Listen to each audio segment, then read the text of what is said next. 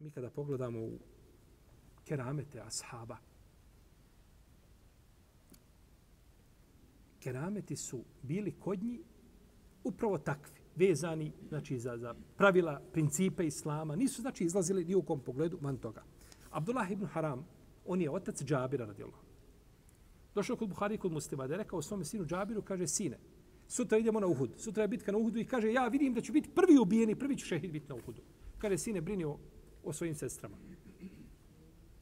Pa je otišao, pa je prvi bio poginuo na Uhudu, prvi bio šehid. Onako kako je šta. I kod Buhari ima predanje da zdvojica sahaba bili kod poslanika sa osam.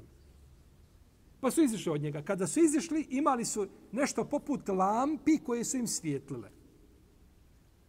Pa su došli do jednog raskršća gdje treba jedan sada i na jednu stranu, drugi na drugu stranu.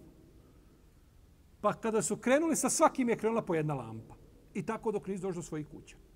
Svjetle im lampe, ispred njih prolaza znači noć, a bila je noć, kaže se u predaj da je bila noć ovaj, lejletin muzlime, bila je tama, ona mrkla tama što mi kažemo prst pred okom ne vidiš. Pa je kod Buhari u Sahiju, da su izišli da im je to svjetlo dok nisu došli do svojih kuća.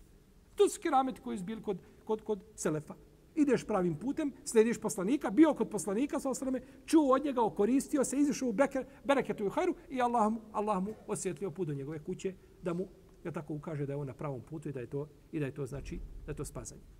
A to kerameti koji se spominju, a tako u kojima su više ovaj nekakve mašte i nekakve priče koje ne, ne može zdrav razum pojmiti nikako, nema to ništa sa kerametima. I zato sve to što spominje keramet, vidio ga klanja, klanja podne u Meki, klanja i u Istanbulu, klanja Jaciju negdje vamo gore na sjever. Nikakvi keramet to nisu. To sa kerametima nema ništa.